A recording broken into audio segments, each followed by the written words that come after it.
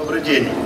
Э, ну, я предполагал почему-то, что формат нашей встречи будет э, круглый стол, и э, не подготовил свой видеоряд, но расскажу на словах, потому что и вопрос, с одной стороны, не новый для большинства присутствующих в зале, в то же время, учитывая, что глобальные изменения климата происходят, аридизация климата происходит, и при этом население планеты растет, это большой вызов перед сельским хозяйством мировым, обеспечить продовольствием раз постоянно растущее население.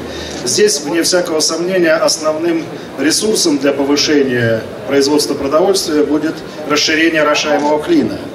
И Российская Федерация здесь оказывается на переднем крае этой работы по той причине, что занимает в мире второе место по, э, по наличию земельных ресурсов.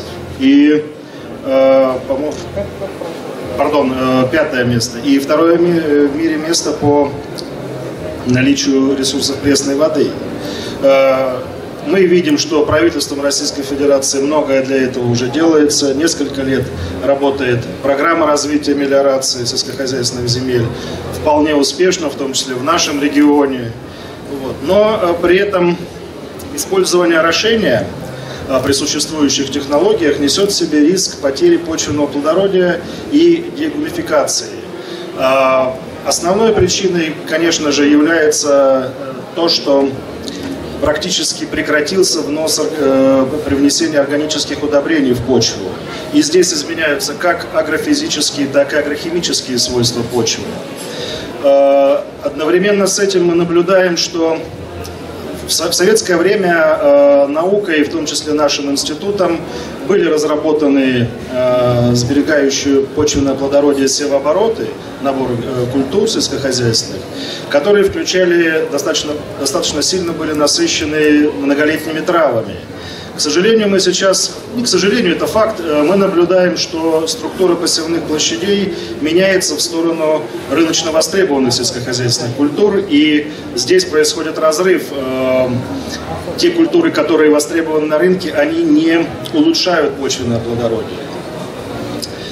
Поэтому, э, ну, как говорится, нет худа без добра. Мы наблюдаем сейчас также, что э, вегетационный период удлиняется, и судя по тому, что климат меняется в сторону потепления, такая тенденция сохранится. Э, мы предлагаем, были проведены исследования, и мы предлагаем э, для дискуссии и для э, использования потом в практике Э, за счет того, что увеличивается длина вегетационного периода, использовать сидеральные культуры в качестве пожнивных либо ранних посевов. Э, и э, такие исследования у нас проводились. Правда, это было в Ростовской области на черноземах, на южных черноземных почвах. Вот. И результаты как раз говорят о том, что, в частности, в звене севооборота, где возделывалась озимая пшеница, пожнивная горчица сарепская, и э, на следующий год э, горчица сарепская и летние посадки картофеля. Э, третьим э, полем звене ворота был лук. Э, здесь мы наблюдали положительную динамику э, по гумусу, по содержанию калия, фосфора, э, азота. Э, и этот опыт лишний раз подтверждает. Конечно же, мы должны здесь э, свою культуру рассматривать. Вот. Но этот опыт лишний раз подтверждает, что э, правильным подбором культур сельскохозяйственных э, и силооборотом э, возможно как минимум сохранение почвенного плодородия, даже в условиях орошания. При этом, э, конечно же, мы будем наблюдать и рост производства продовольствия. Большое спасибо. Собственно, в этом все мое сообщение. Если будут вопросы. А, да. А, у кого есть вопросы? А, Алексей Андреевич. Алексей Андреевич, вот как вы считаете, потенциал расширения орошаемого поля в Волгоградской области, где он э, вот, должен остановиться, до какой цифры мы должны дойти?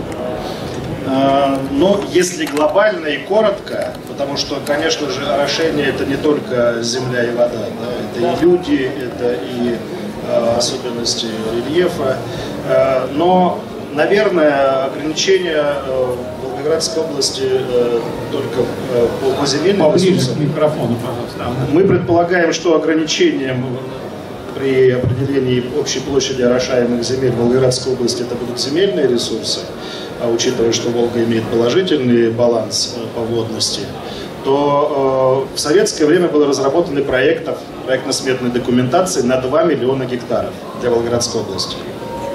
Если это перевести даже при существующей продуктивности, скажем, там 10 тонн, условно говоря, зерновых с гектара, а такие севообороты разработаны до 13 тысяч кормовых единиц, то э, это вот 20 миллионов, 20 миллионов, да, не ошибаюсь, тонн зерна.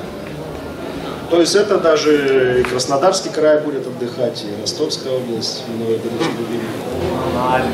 И это только орошение.